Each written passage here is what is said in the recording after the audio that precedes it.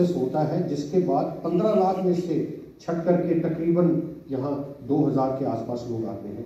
तो आप और ये कैंप जो है, हमारी साल का पूरा ट्रेनिंग एक्टिविटीज़ का एक निचोड़ है, जो इसके अंदर आता है। आप ये कैंप की लोकेशन है। आप ये इस पर देखेंगे, ये इनकी लिविंग एरिया है। हर स्टेट को एक एक बैरक दी जाती है, जहाँ वो लोग रहते हैं, उसको डेकोरेट करते हैं। फिर ये आपका ट्रेनिंग एरिया है। कोविड प्रोटोकॉल के कारण आप सिर्फ़ दूर से ही उसको देख पाएँगे।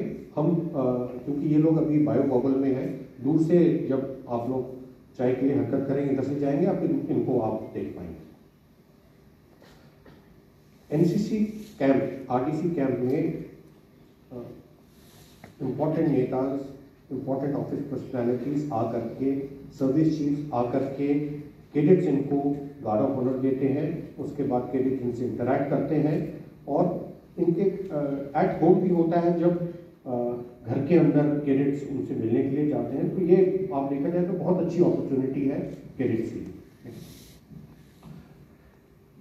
ट्रेनिंग एक्टिविटीज़ होती है कंपटीशन होता है कल्चरल प्रोग्राम होता है, ये पूरी कार्रवाई आगे जो एक महीने का या तकरीबन कैंप चलता है, उस दौरान ये सारी कार्रवाई इधर होती है। इसके बाद में 26 जनवरी की जो परेड होती है, दो कंटीजेंट राजपथ के अंदर एनसीसी के उधर सिलेक्ट होके चलते हैं। ये कंटीजेंट मिक्स कंटीजेंट है, जो सारे डायरेक्टरेट्स के स्टेट्स के कंटीजेंट आते हैं, उनमें से सिलेक्ट करके हम कॉमन कंटीजेंट दो बना के इधर भेजते हैं। नेक्स्ट